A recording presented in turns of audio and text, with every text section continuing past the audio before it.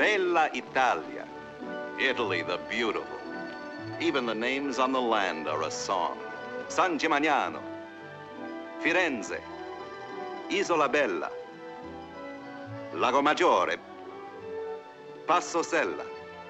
Poets and painters have recorded its splendors through the ages. And now it has been captured on film as you've never seen it before. This is the Warner Brothers film crew on location. The boy and girl are Troy Donahue and Suzanne Pleshette. Troy plays the part of the young architect. Suzanne is a librarian who breaks with her stuffy New England background to live this Rome adventure.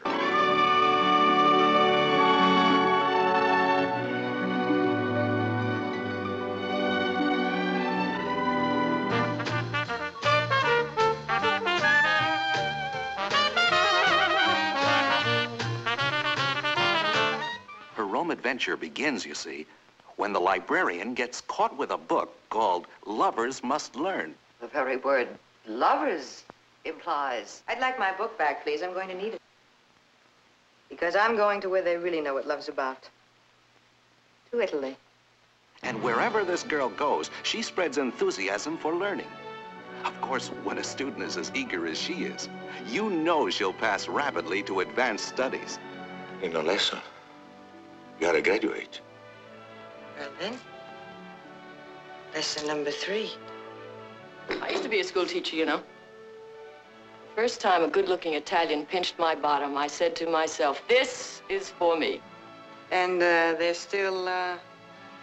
You better believe it, and I still like it. What'd you want me to do? Make an explanation in front of God and everybody that we're not Mr. and Mrs. Porter? You could at least have asked for separate rooms. In a country so full of love as Italy, there are, of course, lots of other girls. And for our little librarian, other girls mean competition. And you told everybody in the place how much you loved her? You knew about Lyda. She was no secret. I was foolish enough to think that I was somebody special. But you are special.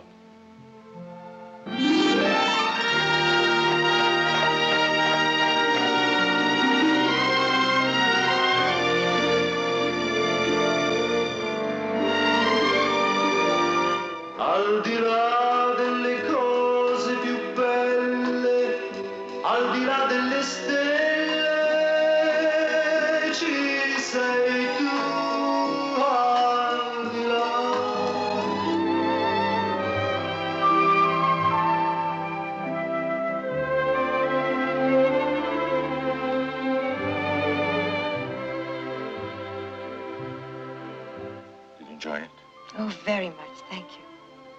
You know, my mother has a theory. She says that for every woman on earth, there's only one man. And you know when he comes along because she hears something like bells ring. Oh, Oh, how do you know? I did hear bells, didn't I? yes.